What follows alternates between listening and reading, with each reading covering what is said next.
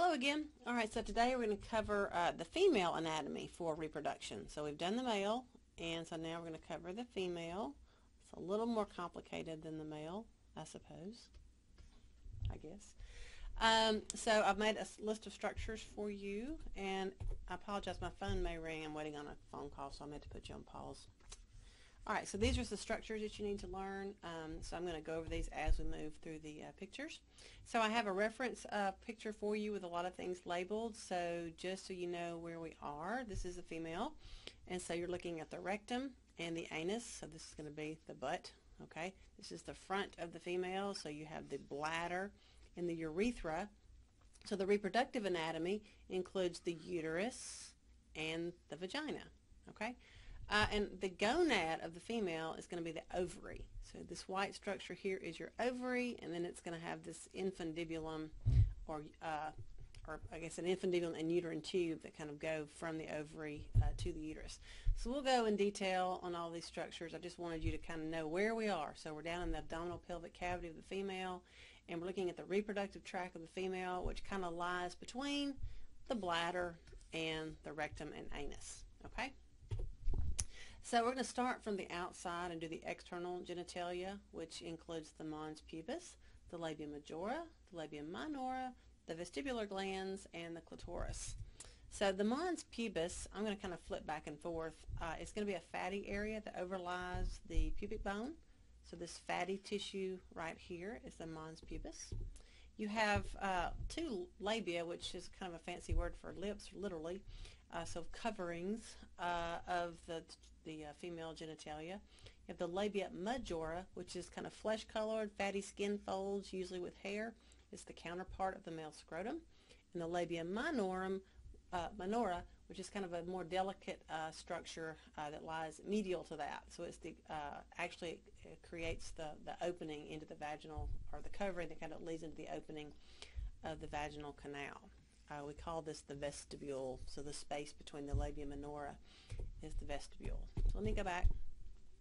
So this skin, kind of this fleshy skin area here is the labia majora, and then this pink fleshy area is the labia minora. And so the two labia minoras kind of uh, kind of stick together and kind of keep the, the vagina uh, kind of free from debris. So they're, uh, you can't see the other side on this particular model. Uh, and then you have the greater vestibular glands, which is analogous or homologous, I guess you would say, to the bulbourethral glands of the male. So they're going to be for lubrication. They're going to be right here. And then you have the clitoris, which is going to be uh, kind of a structure that's uh, very similar to the um, the uh, the penis. So very similar to the glans penis. It's made of very similar tissue. It's, it uh, is able to uh, engorge and become erect during arousal.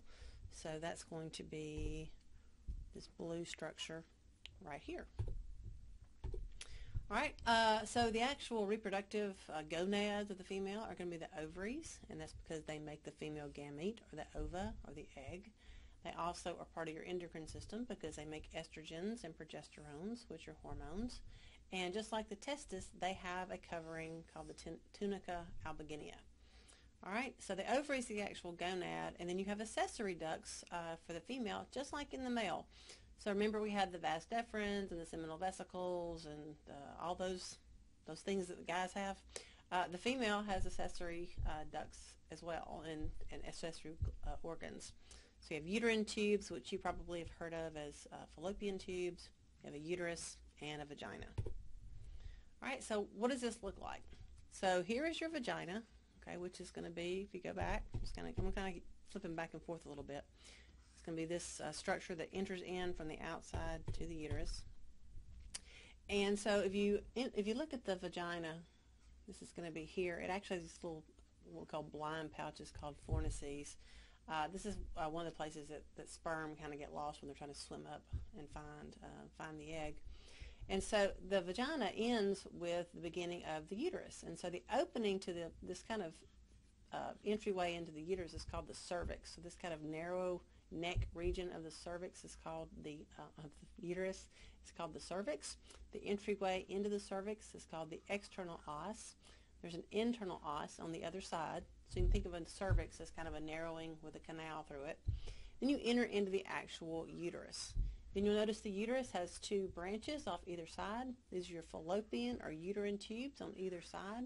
You have kind of a, a, a um, kind of a fat area called the infundibulum of these uterine tubes, and it kind of ends with these little finger-like projections called fimbriae, and then you have your actual ovaries. And you'll notice that the fimbriae don't actually touch um, the um, ovary. They're kind of kind of uh, uh, uh, kind of over the ovary, so they're going to kind of the fingers kind of sweep and try to catch the egg, so they're not actually in contact. So the ducts have no contact with the actual ovary, so that's how you can get an ectopic pregnancy. If the egg was to leave the ovary and not get caught by the fimbriae, it could just go out into the peritoneal cavity. Excuse me. Same thing. If sperm are coming up inside the female and swimming out of the uterine tubes, they actually can go out into the body cavity as well. But don't worry, um, women's immune systems will take care of that. So you have your fallopian tubes. Uh, some people call them uh, uterine tubes, fallopian tubes, oviducts. Those are all kind of things that you'll hear. Um, and this is where the ovulated oocyte is going to uh, be delivered. So it's going to be it's going to pop out of the ovary and be caught by the fimbriae and then go into the um, uterine tubes there's little cilia uh, that will push that egg along from the ovary toward the uterus. This is typically where fertilization occurs. Okay, uh, so now let's talk a little bit about the actual uterus and what it's for. It's a thick muscular wall. It's for uh, the place to receive and retain and flourish a fertilized ovum. It's where the baby's going to grow. All right, so it has uh, four main parts. You have the body, the fundus, the cervix, and the cervical canal. So if you look at um, basically this this whole kind of major portion of the um, of the uterus uh, is um, kind of an upside down um, pear shaped. Uh, okay, if you want to think of it like an upside down pear.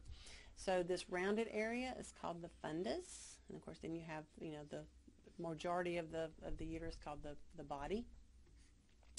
Then you have the cervix here, and then you have the cervical canal.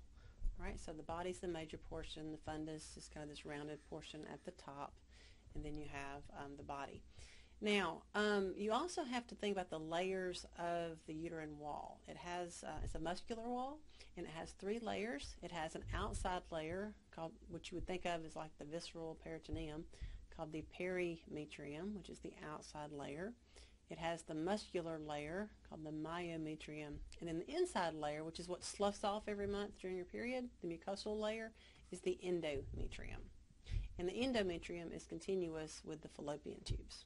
Okay, and you also have uh, in the cervix there are there are some cervical glands that will make mucus, and that helps uh, kind of block the cervix from foreign invaders. So a cervical plug is something that you may have heard of before uh, during your female cycle. So the vagina is not very long. It's about 8 to 10 centimeters in length. It's very thin-walled. Uh, it's the birth canal. It's also the organ for copulation. So this is where the, the male uh, penis will, will go during copulation. Uh, it's between the bladder and the rectum. Okay. And um, if you look, the urethra and the cervix kind of are parallel to each other. So let me go back to this picture here. And you can see, I need to get rid of some stuff.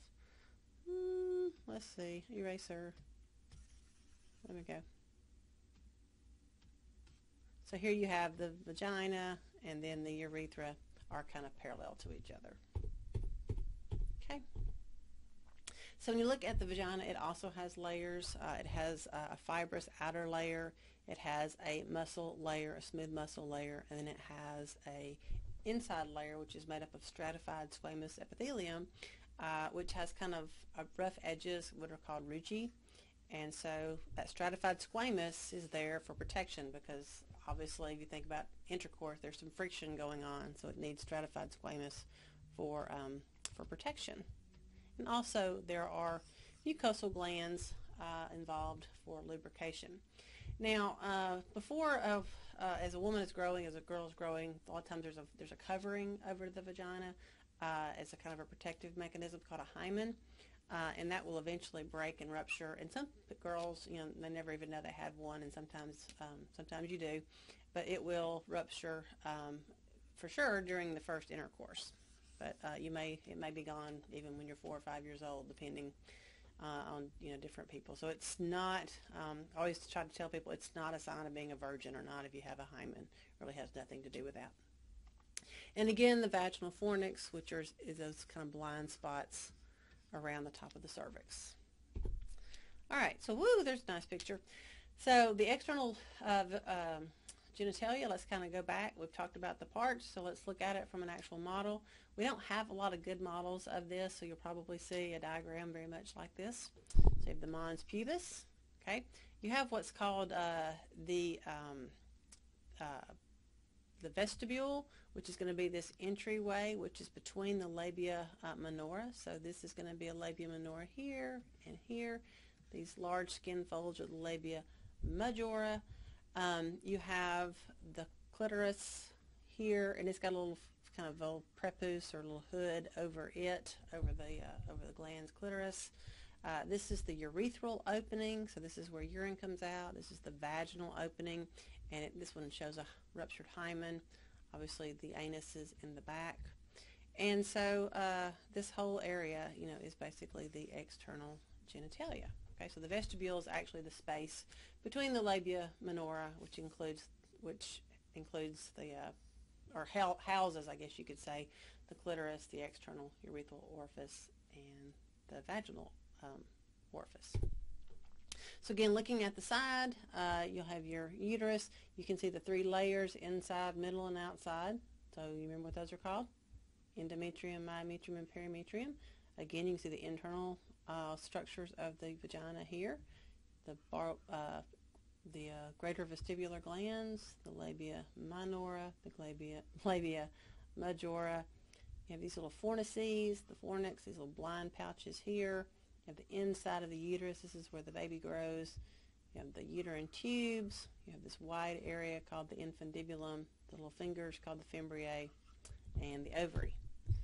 All right, so just another uh, picture as well. I, was, I wanted to just put this on here so that you would have as many options as you could as far as um, me testing you as many diagrams as possible. This is a nice one because it has the layers of, of the wall of the uterus on it. Um, I don't talk a whole much, a lot about the broad ligament or um, you know any of these suspensory ligaments and that kind of stuff. So don't worry about that. Uh, just the ones I've actually listed. You don't need to know the arteries and the veins either. Uh, now we want to talk about the ovary because you want to talk about the different um, the eggs in the ovary and the follicles that the eggs are developing in. Uh, we do some histology in lab. So this is a section of an ovary where you can see uh, all the different stages of egg development and follicle development. And if you were to look at an actual ovary, you would see this because there's eggs and follicles in different stages of development all the time. And so if you look here around the edges, you have your primordial follicles, okay? Uh, here are some primary follicles. That means they've got that one ring of cells around the egg uh, or the oocyte. Uh, here's some secondary follicles. That means they have two rings around um, around the oocyte. Uh, here's a mature follicle here. It means you have a big open space called an antrum. Here's your oocyte here. We're going to talk about some more details. I've got another picture in just a second. Here's a ruptured follicle. So you've got your um, ovulated oocyte. Once the oocyte ovulates, uh, the follicle will turn into what's called a corpus luteum. Um, and then if there's no pregnancy, it'll become scar tissue called a corpus albicans. Okay, so um, you should have, uh, hopefully in your lecture when you talked about oogenesis, you talked about follicles and eggs, you kind of understood the differences between primary and secondary oocytes and primordial follicles and uh, primary follicles and secondary follicles. If you haven't seen those videos yet, you kind of need to go back and, um, and cover that as well because I'm just going to do this briefly from a histology standpoint. So when you're looking at an ovary, you've got these embedded follicles. And so the primordial follicles are going to be small, and they're usually going to be in a, a group. So you're going to see a bunch of them kind of grouped together. So that's going to be the primordial follicles here. Uh, again, the primary follicles, you can see the oocyte in the middle and then a single row of cells. So think primary one, so one row of cells. Uh, in a secondary follicle, you have the oocyte and two layers of cells around that. if you see a lot of stuff around the oocyte, but it's you know you're, you're, it's looking like it's getting bigger, okay, then you're turning into a second a late secondary follicle because it's getting bigger and you're starting to see some spaces, and we call those spaces an antrum. Uh, this is an actual mature follicle. That means it's about to um, ovulate. So you have a nice big fluid-filled antrum. You have your oocyte. You have all these uh, cells around it. And you've got some special features around the oocyte. You have what's called a zona pellucida, which is this white area around the egg. So pellucida means clear, so the clear zone. And then this, this um, group of cells around it is called the corona radiata. So things you need to be able to identify on a mature um, follicle would be the fluid-filled antrum. So this is what's going to help, like think about pop-up pimple. It's going to help pop out the egg. All right, so a fluid-filled antrum, you have uh, a, an oocyte, you've got a clear zone around it called the zona pellucidum, and then a, a um, corona radiata. And I kind of think of the corona radiata as like the eggshell. So when that oocyte uh, gets uh, ovulated, that's kind of protecting uh, the egg as it's traveling uh, and waiting for the sperm. So if you've talked yet about fertilization, you know the sperm's got to get through that thing. Okay. Uh, this is showing where you've had ovulation. So this is going to be an ovu a ruptured follicle where the egg is coming out. Again, you have your early and late corpus luteum. Okay, and some histology slides here as well. So uh, if you don't see histology slide, then you may see it on a model. So here is an ovary. So the whole thing is the ovary. Here's your uterine tube with your infundibulum, kind of that wide area with the fingers, which are the fimbriae. Uh, here are the, uh, the primordial follicles. You've got some primary follicles. These are secondary because there's going to be, uh, I can see fluid-filled space in there, so I know that's a secondary uh, or mature um, follicle. Um, actually, probably secondary follicle here. I can see space. This is going to be a, these are mature follicles. Um, you're going to get the egg, which is being shown here that's been ovulated out. So you have the actual oocyte, that 18, that zone, that's the zona pellucida, and then all this polka dot stuff. That's the corona radiata. Then you have your corpus luteum and your corpus albicans. So those are all uh, the different parts of the anatomy of the ovary. All right, so the last thing is going to be the mammary glands, and so we're talking about the breast tissue. And so if you remember from your early anatomy, you know that milk is just a modified sweat gland. Uh, and it's the mammary glands have a bunch of lobes in them that, that's used for milk production. Uh, we talk about the areola, which is the dark area around the nipple. So I'm going to show you all these structures. Um, I don't worry a whole lot about suspensory ligaments, but that's what um, basically attaches the mammary gland tissue to the underlying muscle. Uh, and so sometimes as your breasts start to sag during weight, those ligaments can start to loosen as well. All right, so let's talk about what we're seeing. So here's the breast tissue. You see these actual lobes, okay, here. Uh, this dark area is the areola, surrounds the nipple. So the all this yellow stuff, that's fat. So what happens is um, milk is going to be made inside of these little alveoli. So these lobules contain little sacs, and that's where the milk is actually made in these little uh, lactiferous alveoli. And so uh, the milk is going to drain from these alveoli into these lactiferous ducts. And these lactif lactiferous ducts will then end in these little bulges here called the lactiferous sinuses. And then it's going to leave through the lactiferous ducts out the nipple uh, to the, to the uh, awaiting mouth or breast pump. Uh, so uh, when you look at breast tissue, the size of the breast is, is due to fat deposits. So a, a large-breasted woman is not going to be able to nurse better than a small-breasted woman. That doesn't really uh, correlate with the size of the mammary glands. That's just more about breast tissue. Uh, so what you need to identify on the models, again, is going to be the, lob the lobes of the, the mammary glands, these uh, mammary gland lobes, these little alveoli, these lactiferous ducts that end in lactiferous sinuses, which then uh, exit out to the nipple. And um, that's about it on the breast tissue. Uh, here's another picture, kind of a, it's a, another version of this. You have the fat tissue here. You can see the lobules, these little individual things, or the um, alveoli, where the milk is made, the lactiferous uh, ducts and the sinuses, and then of course the nipple is right there. Now this one I'm showing you simply because, uh, you know, as females, one of the things that people worry about is breast cancer. And so this one is showing you uh, various types of pathologies um, in the human breast.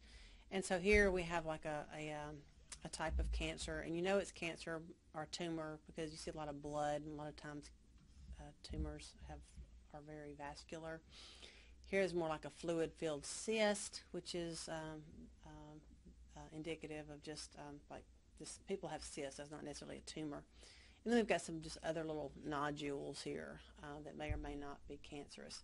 Uh, but I just I just point these out to let you know that uh, you can feel these things. Like you can see here's it kind of bulges out here, so you could feel a bulge. Um, here's a, a, tumor here that's actually causing puckering on the breast, um, the skin itself. So girls, uh, you know your own breast, so you need to be doing breast exams monthly and uh, kind of making sure that you recognize lumps and puckering and um, discharge. If you're not pregnant, and you're not lactating, you should not expect any discharge out the nipple. So just be your own best advocate. Um, I also like this, this model because you can see those individual alveoli, you can see the lobes, and you can see the lactiferous ducts as well. But just don't forget that you need to be doing those breast exams. It's just one more time for me to remind you of that. All right, so let's look at the models quickly uh, and make sure that we can identify these things on the models. So we have the mons pubis. This is the uterus. A lot of times people get confused when they're looking in here because they think that's the bladder. The bladder is underneath there when you're looking at the model in this particular conformation. We have our uterine tubes. We have our uh, infundibulum of Fimbriae. Here's an ovary. Okay, that's a ureter coming down. Uh, from this side, uh, you're just seeing uh, kind of the back side of this of this um, um, ovary. That's actually not the best model. I should not even have that in there. All right, this was a better model. So here we have the bladder. We have the uterus, and you can see the uh, endometrium, the myometrium, and then the perimetrium. You have the fornices, which are those blind pouches. This is the vagina. You can see the internal rugae, the internal layer, and the muscular layer here. You can see the ovary, the infundibulum, I mean, I'm sorry, the fimbriae, the infundibulum, and the uterine tubes. Um, this is the clitoris, and the labia majora, and then the labia minora there. What else? Urethra. A lot of people get urethra and vagina confused, so figure it out. Here's the cervix there. Uh, here's another model. So here you have the anus, the rectum. Here's the vagina. A nice fornix here. Nice cervix inside the uterus. Nice uterus. Got your fundus, the round part, and then of course the body here. Your bladder, urethra. Um, I don't think any of them really show a good Bartholin's or a vestibular gland. I probably have to use a picture for that. Labia majora, labia minora. Oh, and that's it. All right, so uh, between this and then the video uh, that you have from, uh, I think Miss Graham does the female reproductive video, you should be just fine. All right, thanks a lot once again. Have a good one.